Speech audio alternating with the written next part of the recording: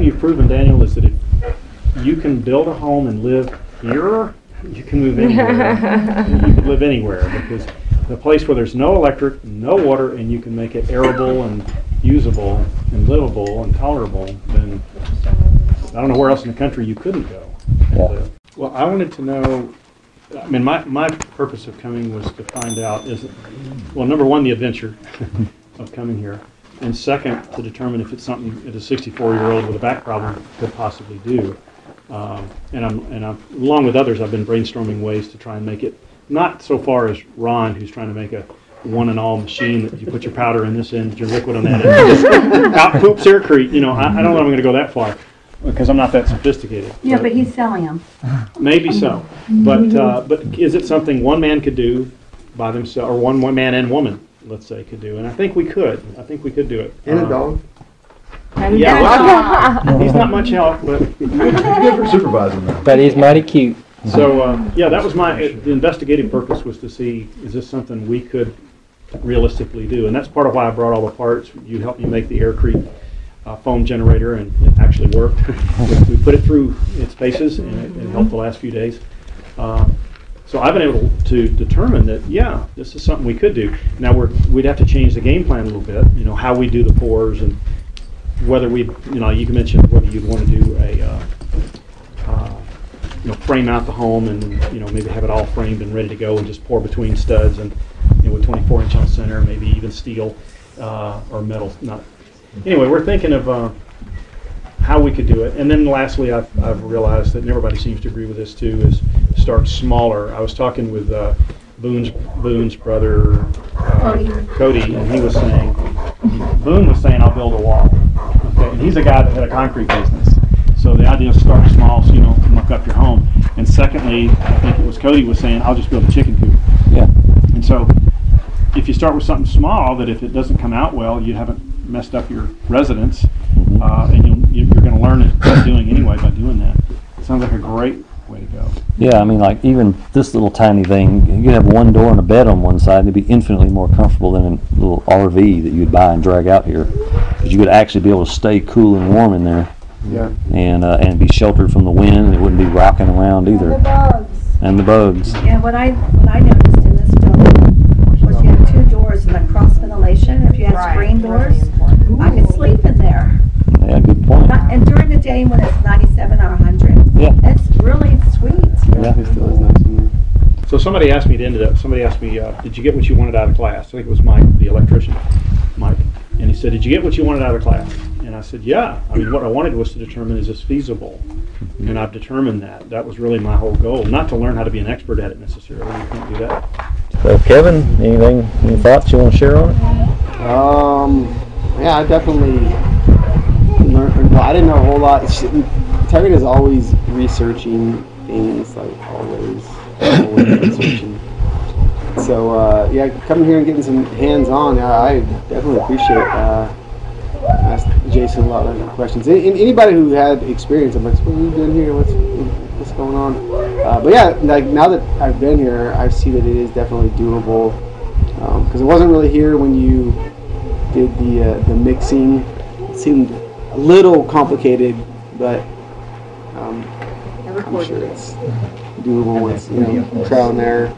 Yeah. So, uh, but yeah, it's definitely good to know that uh, we need to keep some ventilation. There's just a lot that, that goes into to planning when you are building a structure like Right, this. before you pour, you've gotta know all your. Yeah, you got to plan everything ahead of time. Yeah. So I was thinking, I, I think I might actually try to. Uh, well, you're saying like maybe run wires first. That's, that's just one less thing to have to worry about later, as as much as you as you can. I guess if you're doing all pure aircrete, you really can't do that because you're just doing nothing. Anyway, um, no, I really enjoyed being here. This is this has been great. Pool's nice and cold. Nelson? Uh, well, I'll keep mine short. They say I talk too much. Oh, no. Sure. Yeah, blabber now. Shut up. But uh, I guess uh, what I got is uh, I came here to learn some a little bit of cement and air conditioning, but I got a whole lot more out of it. I guess I just wanted to thank everybody for their patience and taking the time to explain stuff to me. Aurora for cooking every day. Thank you very much. Mhm. So uh, that's what I got out of this thing is uh, where people can come together and share ideas, and so I'm grateful for that, man. And thanks, Danny. You bet. You're welcome. And you also mentioned that when things went wrong, you don't have to panic, right? Oh yeah, yeah, yeah. When things went wrong, I thought it was gonna be it's gonna go pretty bad, but uh, Daniel was pretty cool, calm, and collected, and said no problem. Grabbed the caulk gun and fixed it. That's where the experience really. Yes. So yeah, there were several days where like, and then the next day he's like, oh, you did Yeah, this, and no the- problem. That huge thing that, or the thing I thought was a huge mistake was like, oh, that was Yeah, really thanks. nothing. So. Well, like they were talking about with the mistakes, I think because of all the mistakes, we all learned a lot of what not to do, things that could possibly, especially with our first build, go wrong. Right. You know, with our build, you know, we would have just been like, oh no, it's a crack. I, I messed up. It's Got to start over. Yeah. Let's scrap it. and now we know how to fix a lot of it. I mean, the fabric fixes most of it. So I definitely know how to do fabric. yeah, That's You did the hardest part. yeah, that was that was tricky. I know I'm not gonna do any wood that sticks out. That's hard. Every time we glue it on. yeah, glue on for the fixture. That, it was really nice when you're working up there to have a place to stand. Yeah, we're we're trying to discuss about the flat roof. We've wanted the flat roof type, and then he wants to do something, have a flat roof, and then do some sort of attic type A-frame? up there. Yeah, A-frame over it, and then Yeah. you know you can use it for something. Oh, absolutely. Um, but yeah, I mean, I really appreciated all the you know everyone letting me film. What I was looking to get out of the class was, you know, the confidence that I could either do it myself or confidence that I could put a small enough crew together to easily train to handle some of the back work that I don't either can't do or not capable of doing. And I was able to see that's definitely, you know, if we can get you guys to build this, surely oh, I we know. can get somebody else. None of us knew what we were doing.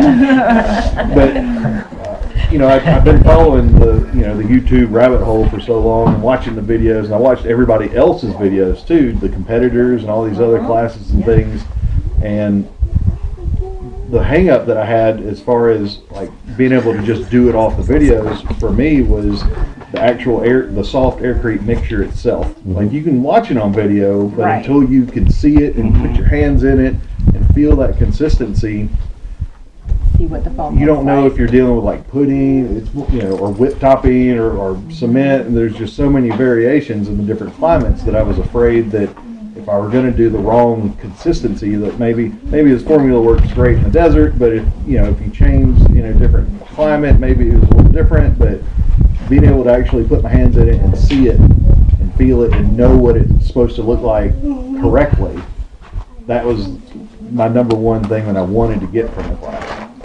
The additional things that I got from the class that I wasn't, you know, I knew I was going to get like the worm, the worm toilets, huge water collection. Uh, I loved all that stuff, but I think the confidence, you know, and a few of the technical things, of course, seeing the mistakes was uh, seeing some pitfalls to avoid, and then the unexpected benefit besides you know out here and you know I wasn't expecting the desert to be beautiful and the stars and all that but the the camaraderie with the people and all of these people with the very like-minded with similar mm-hmm. dreams that are actually doing something to put their dreams into work.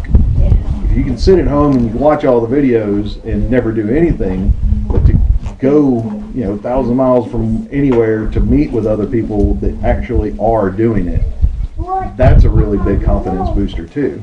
And then learning about what everybody wants to do and their ideas and all these cool design, you know, possibilities. I'm like, wow, you know, and my simple idea kind of got a little more complicated, and then I'm like, oh, I could do this or I could do that, and I mean that was a really huge unexpected benefit was the making the new friends. I think. Yeah, absolutely. Absolutely. Marie? Well, I'm not here to learn about aircrete. I don't know if I can say it. yeah, your family. Yeah. We feel the same way. Our people. Thank you all for being a part of it. You're amazing. I tilt the torch pretty good. Uh, Yeah, I, I, uh, kind of a lot of what has been said already, but, um 'cause cause I, yeah, I just wanted to see if this is something I could do myself and go home and, hey, there you go. Um, uh, uh, you know, like, yeah, just something that's more manageable with me, just like, just a few, maybe a few friends of mine or something, just to, to build it. And, um, I also like, yeah, I, I'm looking to get land and, and, and kind of do the off-grid thing and all that, but I was also kind of thinking like, well, can I also use this with, you know, the, building have in Pittsburgh also, and I found like a bunch of things I can do with, with this kind of, uh, technology. And, uh, like I'm gonna do like, probably do some garden boxes, uh, a couple of us were talking about, and, um, I have like this geodesic, it's just a Like dome made out of, uh, electric conduit pipes, I just made a bunch of struts. I was thinking that could be a farm that I could do, which is on the roof. So the other thing was just every step of the way, we are like getting a little, this was, this is really good, it was just the scale was, was good too, but I think it was, I could take in all of those, all the little things, you know. Like we were saying, like all little mistakes we made, and then we found out, well, it's not that big a deal, you just do this. But instead of being like, uh, when you're first doing it, it's always like, uh, am I gonna ruin this whole thing?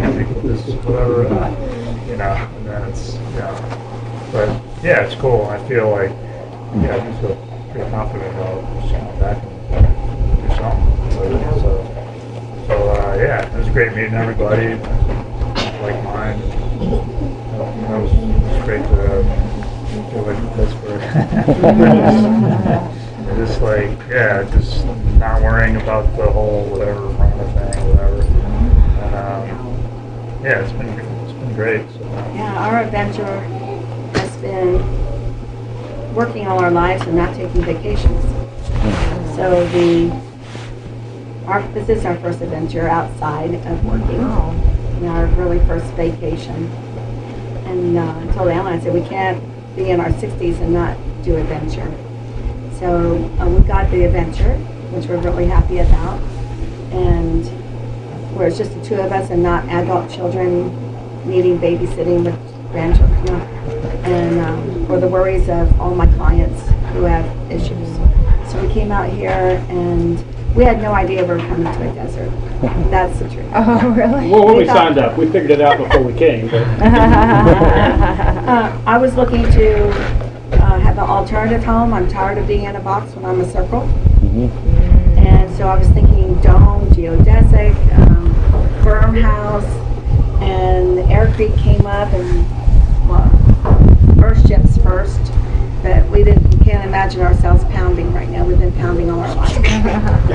No more pounding, Yeah, he said. it's, it's, yeah. Yeah, but I love the idea, and if I can incorporate some of that pretty idea and self-sufficiency in a, in a aircrete, I would love to do that. And I don't know quite how to do that yet, I'm gonna have to pick rates and everything. Uh, so we came out here and we noticed that, um, your building's not perfect, but it's got a lot of hands on it. Mm-hmm. It does. And I think, Literally. I see fingerprints. Yep, And I everybody see a signed it. tree. And I think it would be really neat if you really had people with their prints actually painted on there. Yeah, we As need a some colored legacy. paint. Who- Yeah, yeah, all the children, everybody. Um, so if I was to build a house and people helped, I'd probably have their handprint, like a signature somewhere, even the paw prints. Yep. Um, so I noticed that through life, Alan and I are perfectionists to the point of it's not healthy. And we don't get projects always finished because they're not perfect. And we noticed that your buildings aren't perfect, but they're stable and it's fun and it's forgiving. And, and and you have to realize that everything here, I mean, well, not everything, but like especially this one, like most people had never picked up a tool in their life. Right. And you're so amazing, Daniel. Who- I, don't, I, know. I know that we could hmm? not have stood by and had, had someone not do it perfectly. It would be really hard on us that we'd go to bed, we would be disturbed. You were making me oh, I don't know how you did that. I want to thank you for allowing the children to come mm-hmm. and our dogs to come because what you've created is a family organism here. And I can look all of you in the eyes and say, I love you and I feel like family. So I'm, I'm going away crying. Like, When Linda Like I said, you're not the cried. only one. It's like a domino effect going on here. Oh, it started happening a couple of days ago when uh, Hickory left. Yeah. Yeah, we cried with Hickory, and and then when Carl leaves, that's gonna be really sad too. I'm not leaving. Daniel Phyllis says. Does he know that? You do the surprise. So, Thank you, Daniel. Thank you. Yeah, um, yeah, this has been really great. Like uh, Ryan was saying, like I very much am a YouTube. I've been through YouTube Yeah. circles and spirals and infinite loops and um, like I know I've mentioned to several people like I um, like I was thinking into earth ships and earth bags and all these alternate buildings. And I like I went to the solar decathlon uh, in 2017 in Denver and I saw a, a little modular home that one of these universities built out of concrete. And like I had seen like my mom you know she I grew up with her reading books about passive solar design and Ah. knowing about thermal mass and south, south facing windows and blocking prevailing and that kind of stuff. Um, and so like I, I was really excited to have an opportunity to come to a place where they're using con- like you know concrete is the primary or cement. Right? I know I know the difference, but I just don't say it all the time. Where you know cement is the primary. Uh, you know, it's this amazing material that's you know that got the strength properties and the and also have it be insulative and um, fire resistant and pest resistant and all things. So, so um, yeah, it's been fun to see the material how it works. The get your fingers in it and see um, how it develops, how it feels after a day, how it feels after a week, uh, how it feels after it's been wrapped in a you know a, the fabric and um, plastered over. Um, so it's it's been to get instead of the finger on the mouse, getting the, the finger uh, fingers in the in the cement and the aircrete. Uh, that's been it's been a really great experience. And then yeah, of course. Um, I love the you know some of the last videos that you made where you're like this is happening there's going to be a you know they're going to say there's a second wave or whatever this is happening regardless and so I think that um, a lot of us saw that and I think that, that for me that was like one things like okay I, that, this Yep. is somewhere I where I was like oh, I don't know if I should go like I'm, I'm going to go because I know there's going to be other people who, who realize that the world that we live in that sometimes it's crazy um, that there's crazy people in that crazy world that are really the sensible ones Right. so um, so it's nice to be uh, around here and not having to wear a mask My Yeah. yes the right kind of crazy Yeah.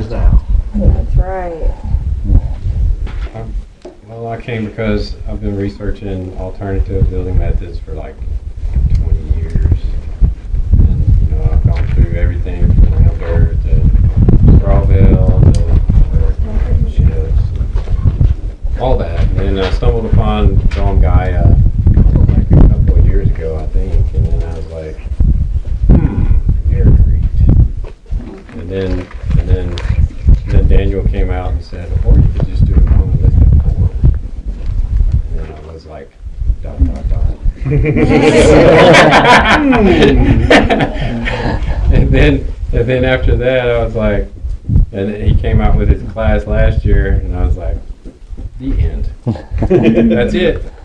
That's what I've been waiting for. And then, uh, and then he came, and I, I like, I mean, I like the idea of a round house, but the problem is, is if you put all the, your house in a round house, then it's really hard to live in, for me, because I kind of live in a curved wall situation right now, and it just makes it difficult, and I'm actually really tired of it.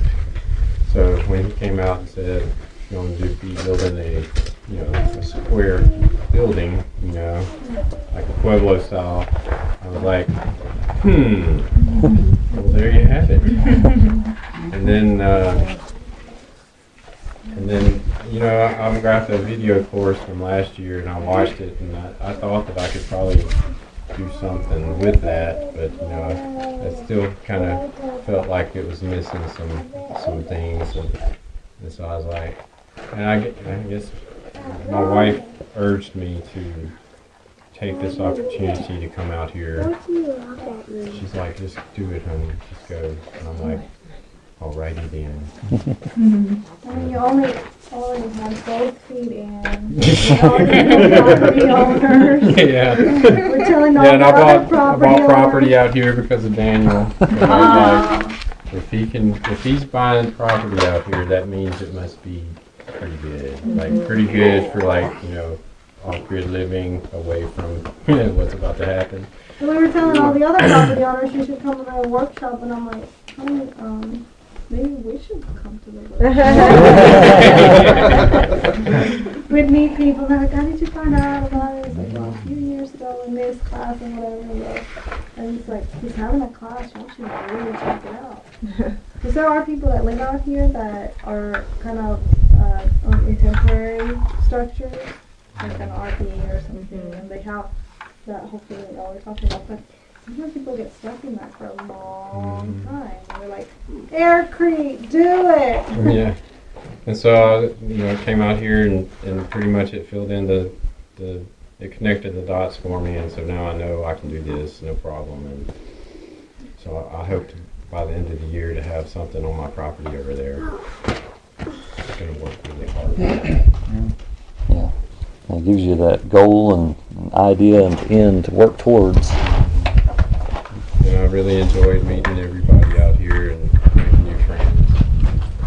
And um, seeing that there's people, you know, that are aliens like me. you know, because it's, I don't know, the- I don't know how it is if you still have a job, you know, like nine to five or whatever, or, you know, trading time for money like I do currently. I hope to retire very, s- very soon though, but, uh, but if you have one of those jobs, I don't know how many like-minded people are in your job, but I, I can't find, we have like six hundred people and I can't find six people. that, You know, or like, yeah, there's something wrong here, yeah. Uh, Well, this mask thing, that, that ain't right. Uh, why do people think they need to wear that thing? Anyway, it was good to see, come out here and see that there's other people like me because after a while you're like, am I the only one? Yeah. Well, I was telling Roberta, if we, get- if we drove up. we Oh, he was- you just gotta go home. Right. It, it- well, it was a, it was a nine-hour trip to drive down. We're not too far in Dallas. Nine-hour trip would have turned into an eighteen-hour trip on our way back. If we showed up and everybody had masks on. But thank God they did. That went. Hey, Rory, anything you want to add? Well, um, when we, when well, I'll say two things. For, for our family, when he was looking at registering, I thought, well, he'll just register and we'll just check in, you know, just observe and, um, then he told me that, you you know, you could have a, the family come and so that made it, um, for us, simpler than having to go back and forth, back and forth and not be allowed.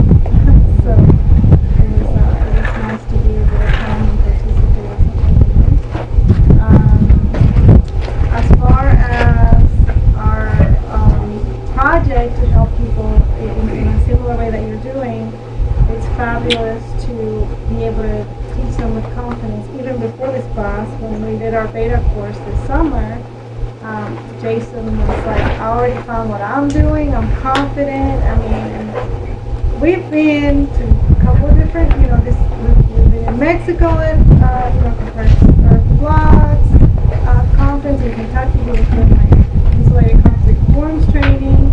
This has been like a 15-year journey, hands-on, going to conferences and different things. And so, for us to be able to um, to have found you and to help him connect the dots and have all these technologies just kind of floating, fermenting. It's like, what is it going to be? So I just appreciate that you took the time to put your thoughts out there. I know it's very hard. It's hard to put these videos. It's hard. It's not that simple continue with it, but I'm a, I appreciate that you put your thoughts out there so that um, you know that others that I tell, mean, I tell people all the time, like, you may be at the beginning and see this, and wander off, but I was like, we've gone full circle on so many things that we knew 10 years ago we should be doing, or 20 years ago we should be doing. So you sort of like, we're here after 22 years. That should tell you something. You started in a good place. So we just appreciate you what you're doing, appreciate being able to come up and compare me, and so thank you for everything. All right, thank you. All right, Carl. Oh man, dude, I just learned that, that something is not. It's not easy. Nothing is really easy in this life when you're an old bald-headed guy. But something I can adapt to my own style. Something that can be done. And it's also good to, to know that there are other folks out here that are, are tired of overreach of government, over control of government, and, and want to get out from under that and not be controlled and surveilled and essentially have to eventually if you stay under that eventually you're going to have to depend on the government to take care of you. And I, I don't want that. And I don't want that for my family. I don't want that for me. And it's good to know that there's, there are other people that think that way. Absolutely. so So you're gonna move out, out here? I'm not leaving I'm already moved everything I got in my no, I'm, no, I'm, I'm actually going to go to, to Alpine and, and get with those folks and see what's available I, I know we've seen some beautiful places out here and and like what spring is like towards Terlingua when the sun starts going down through those rocks. I mean, it's like it, it just rejuvenates like a battery charge. Something magical. Yes, sir. Single night And I don't have to rush, and if I make a mistake, I make a mistake, big deal. You can cover it up with something. Exactly. Exactly. Yeah, you can make the building process completely non-stressful. You know, you move at the pace you move, you, you fix your mistakes, you just keep moving forward. Even if it seems like it's just little steps, eventually you'll arrive. Daniel, I wanted to